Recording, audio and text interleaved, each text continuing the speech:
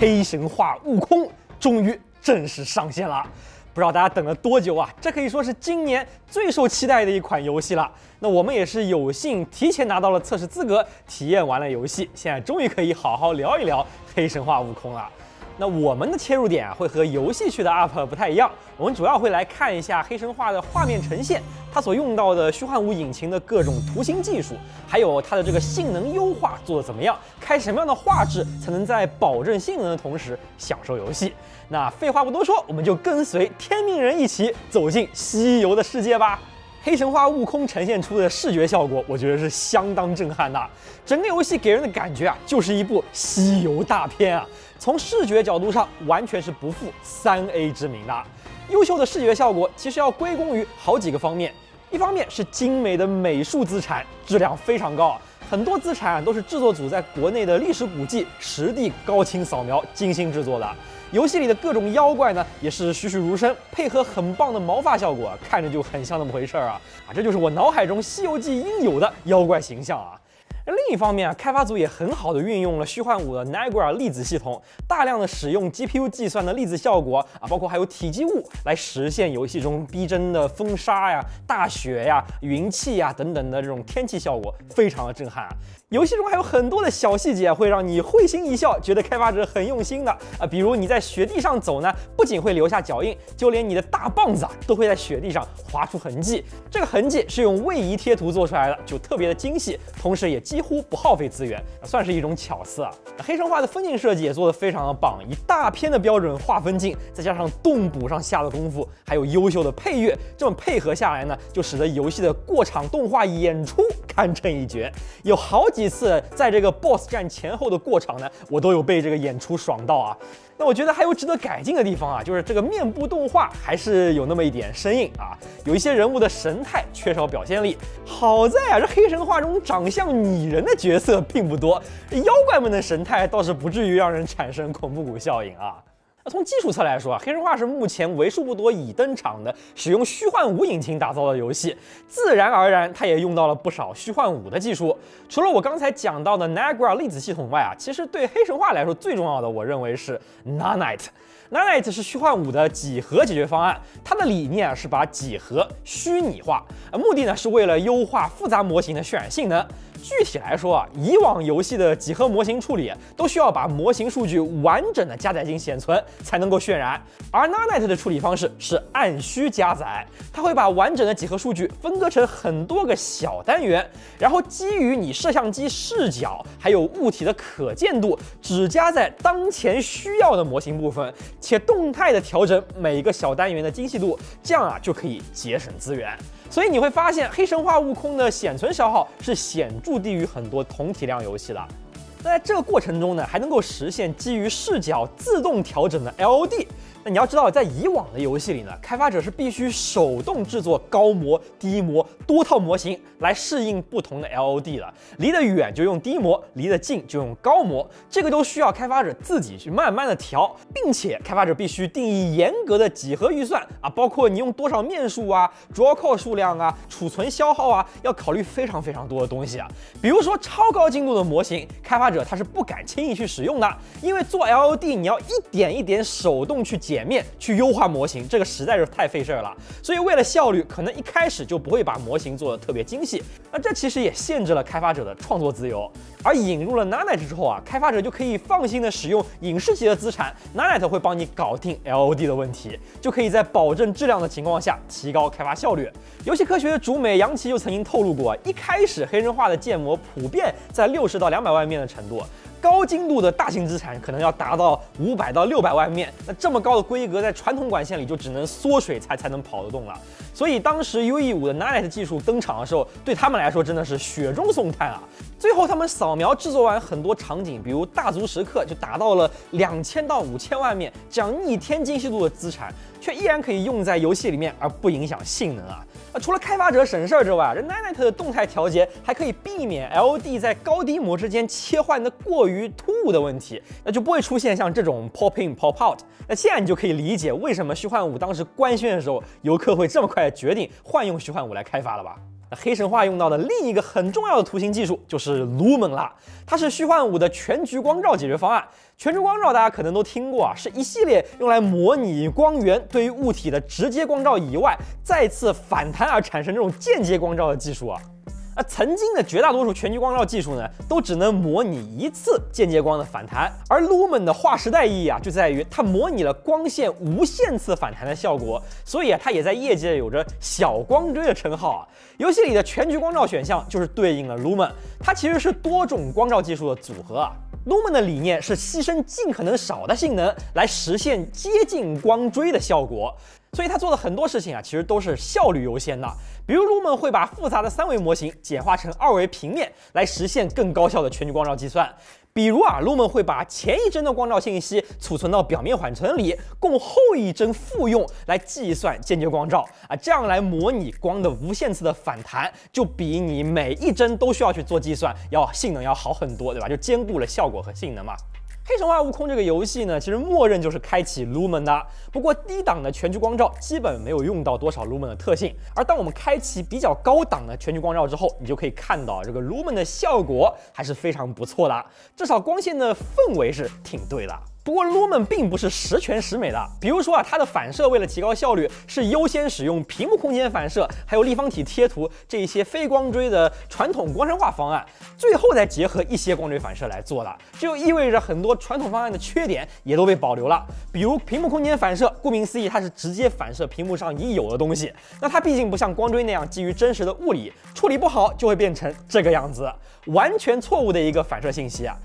包括复用表面缓存中的光照呢，也会带来不小的误差，以及它会让光照的质量受到帧率的影响。毕竟要复用前一帧的信息的话呢，如果你的帧率太低，那两帧之间的光照差距就会非常大，就会出现欠采样导致的各种噪点啊、模糊啊、各种各样的问题啊。你可以看到就是这种效果啊，所以这个 Lumen 还得在比较高的帧率下才能发挥出来。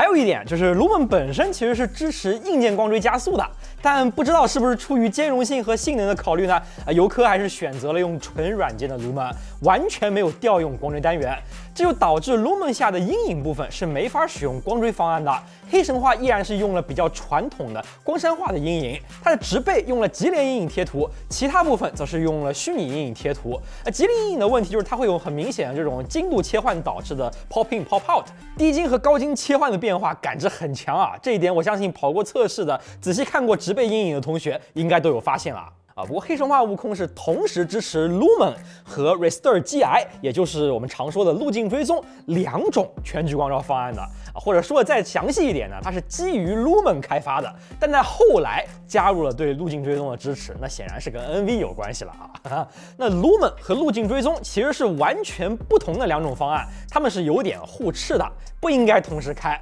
但黑神话的画质菜单做的有点不太好，它没有引导你去二选一啊，所以你想要开光追的话，我就建议你最好把全局光照降到最低，阴影和反射这两项也要开到最低，这样光锥才能有正确的效果。路径追踪是真正完全基于物理的光锥，它就不会有像刚刚 Lumen 那种水面反射的问题了，都是真实的反射，阴影也不会有硬切精度的感觉，毕竟它是真正的光锥阴影啊！你就看看这个树叶投下的阴影，对吧？真的是很精细啊，甚至你能通过阴影感觉到这个树叶的晃动啊！那在很多的环境下，它的光照都会让你感到非常的惊艳啊！不过有一说一，在其他的一些游戏，比如像2077里面，你会觉得这个路径追踪一下子会让整个光照真实很多，整个氛围都不一样了。而在黑神话悟空里呢，这光锥虽然画质也非常好，但可能不会像2077的提升那么的明显。主要是因为黑神话起手就是 Lumen 了，它已经用了一个动态光照很好、氛围很到位的方案了，所以路径追踪能做的呢，主要就是揪一些错，它能给你一个物理上真实的光照效果。另外就是路径追踪的三档选项里面，前两档其实都降低了光追的分辨率，所以效果会打不少折扣。只有超高选项的光锥才是全分辨率的光锥，并且还加入了水中的焦散效果。你可以看到水下岩石上的这种焦散效果啊，是非常的生动啊。所以有条件，我建议你光锥是直接拉到超高，这才是真正的顶级画质。那路径追踪的问题就是它的性能了。四十系的高端显卡跑路径追踪呢，性能倒是没有损耗太多，配合 DLSS 的超分和补帧，保证原始帧率足够高的情况下，我觉得姑且体验还算不错。这个我们在显卡性能的那期视频里就已经讲到了。但只要你用的不是四十系卡，我都不建议你开光追啊！你要知道啊，路径追踪也和 Lumen 一样，它是前面的帧也会影响到后面帧的光线如何采样的，所以原始帧率跑太低，反而它的效果是不会很好的。对于三十系以前的老卡还有 A 卡来说，我觉得完全不值当，用 Lumen 已经很够了。讲完了黑神话用到的一些图形技术，我们再来聊一聊性能。前几天啊，我们已经测过了黑神话的显卡性能啊，还没看的同学一定要去看一下。有了完整游戏之后呢，我也帮各位验证了一下，这个之前的性能测试工具还是比较能反映真实情况的，测出来的帧率和我们实际玩游戏的帧率大多数时候差不太多。不过游戏玩到后面也会有部分高压的场景，显卡的压力会显著的比测试更高，比如战斗非常激烈啊，或者特定的容易掉帧的技能，像是放几只猴子出来的身外身法，哎，在这些情况下还是会对帧数产生比较重的影响的。总体来说，我觉得黑神话的优化算是中规中矩吧。这毕竟是用虚幻五制作的游戏，它的显卡要求显然不可能低啊。但画质呢，也确实是相当震撼的。好在它的入门门槛比我预想的要低。我特意在 Steam Deck 上玩了很长一段时间，这个流畅度是完全可玩的，画质也还算可以接受啊。那除了显卡之外，咱们也来聊一下实际游戏里对 CPU 的要求。其实我刚拿到游戏测试版的时候，大概是八月十号的左右吧，那个时候 CPU 的性能还是非常差的。第二、第三章你用 Zen 三或者 Skylake 的老 CPU 啊，都只能跑到六七十帧的 CPU 帧。这个时候你要是再放几个身外身法，变几只猴子出来，CPU 帧真真的是暴跌了。你要知道啊，CPU 帧是无法通过降特效来提升的，它就是你整个平台的上限啊，这显然很糟糕啊。但是就在游戏上线的前两天。伴随着游戏开放测载更新了游戏之后呢，啊，游客显然是优化过了 CPU 的性能，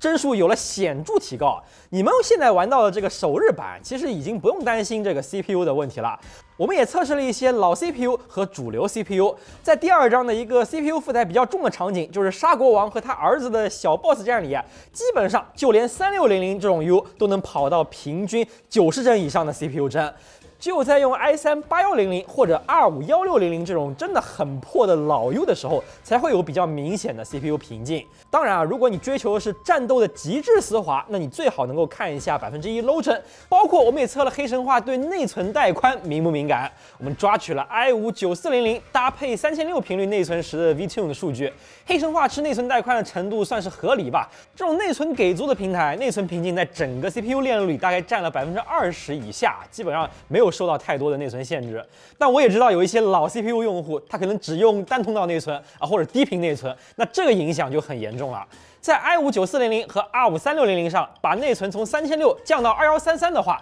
这个时候九四零零的内存瓶颈会飙到百分之二十七以上，已经不小了，帧率会暴跌百分之二十，甚至百分之三十以上啊。Low 帧造成的小卡顿会变多。那对于黑神话这个压力主要来自显卡的游戏来说，CPU 和内存最影响的也就是 low 帧了。所以那些时不时卡一下、帧时间不稳定的同学，你就可以检查一下，确保双通道加正常的内存频率。内存容量方面，我们全程玩下来基本上是十六 G 内存打底啊，最好能有三十二 G 内存。啊，不过我感觉 CPU 和内存还是比较容易达标的。大家最主要的关注点还是应该放在显卡上面。就如官方的推荐配置所示，至少在正式上线之后，这游戏的 CPU 是远远没有显卡来的重要的。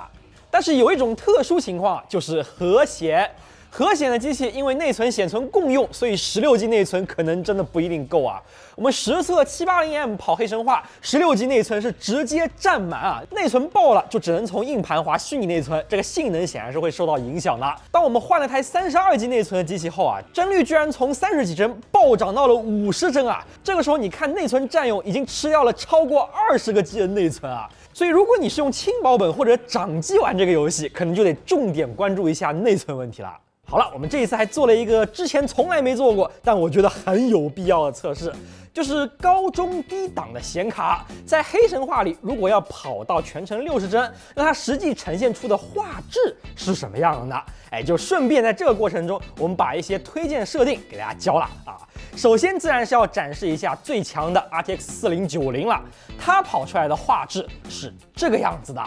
啊，记得你要把视频开到最高的清晰度才能够还原啊。四零九零自然而然我是建议开到超高光追的，不然你花这么多钱买卡是图个啥呀，对吧？其他的设定就像我前面说的，这开了光追之后，全局光照、反射、阴影这三项都可以开低，因为光追管线已经接管了这些部分，咱们就没有必要平白无故的消耗性能了。除此之外的一些画质选项，我们也适当的优化一下。那 4K DLSS 性能档就差不多了啊。那毕竟就算是副哥，也要把性能预算花在刀刃上嘛，别想着无脑全开呀，对吧？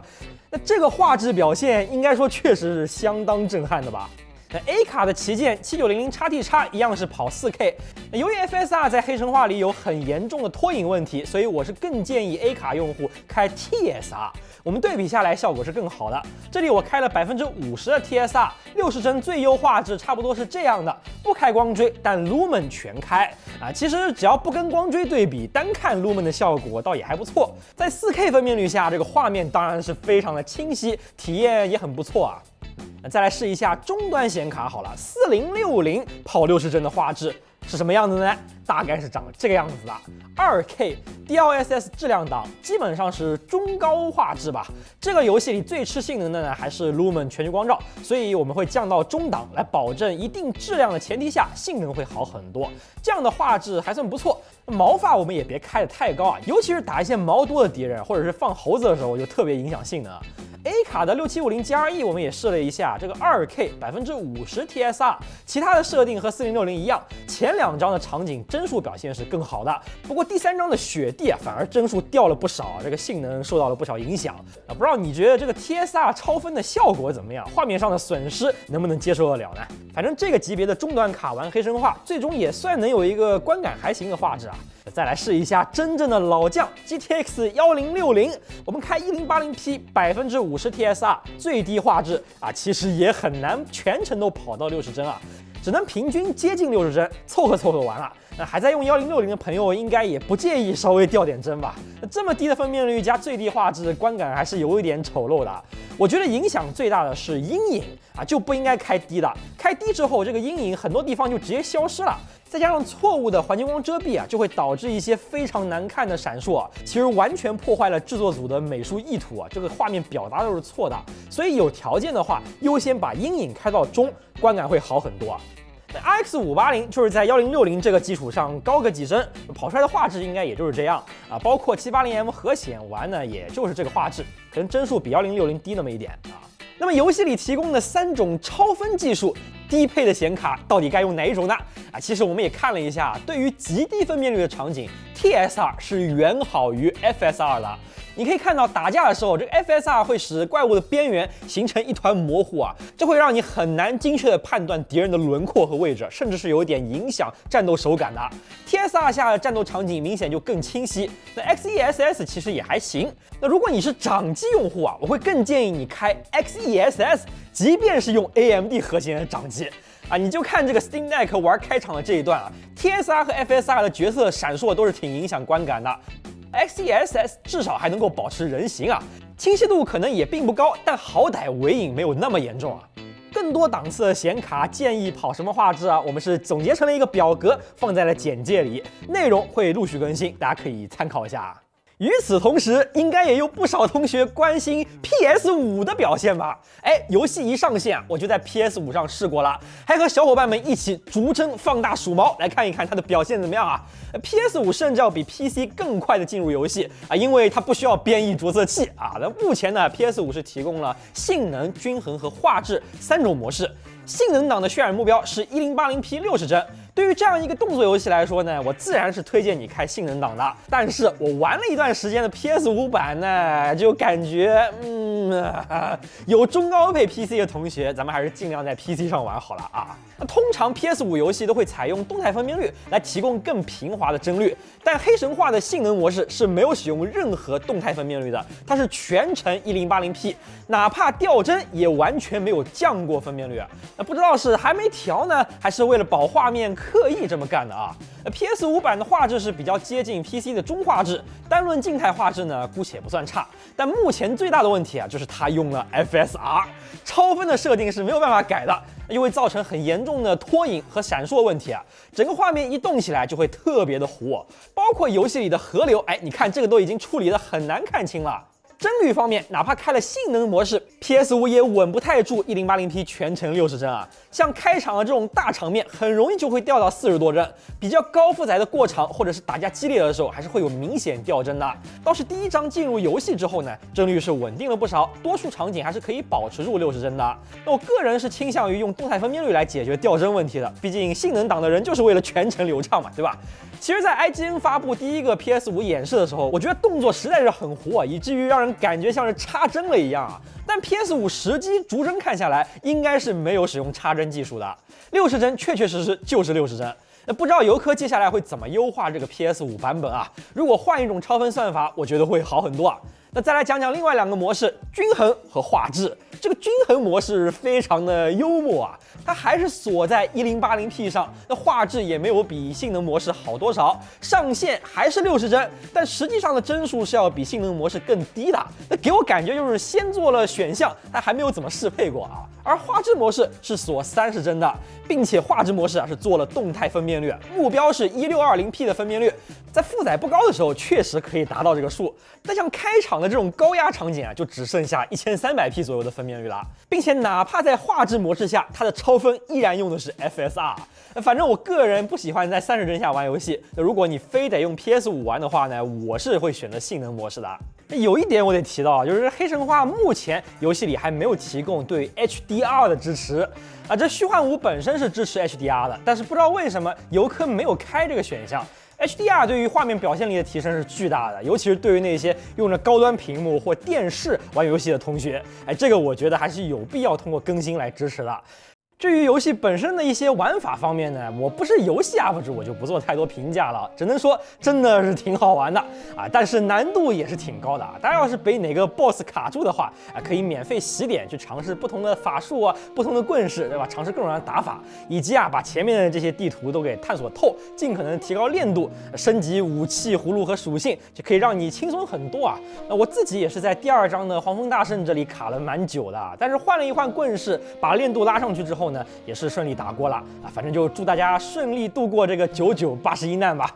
好了，今天我们好好聊了一下黑神话的图形技术和性能。总的来说，黑神话绝对是称得上一场视觉盛宴啊！不说能不能拿年度游戏吧，至少我觉得它是今年最美的游戏。啊，作为一个一百多人的小团队，游客能够驾驭这么一个高技术力的三 A 项目，还是很让人印象深刻的。至于性能优化问题呢，是意料之中的存在吧，但好在也没有严重到大家玩不了的程度。低配至少是能够正常运行在过得去的画质上的。啊，我觉得得感谢这几年的超分技术的迭代啊，要是没有 DLSS、TSR、FSR 这样的技术呢，很难想象这个游戏会做成什么样啊。万事开头难嘛，对于游客来说，能把黑神话憋出来都非常不容易了。我们就继续期待，经过这一次技术上的磨砺，这个团队后面会给我们带来什么样的惊喜吧。那如果你觉得这一期节目的干货足够多的话，一定要长按点赞，一键三连，也别忘了关注我们极宽频道啊。那我们就下次再见啦，拜拜。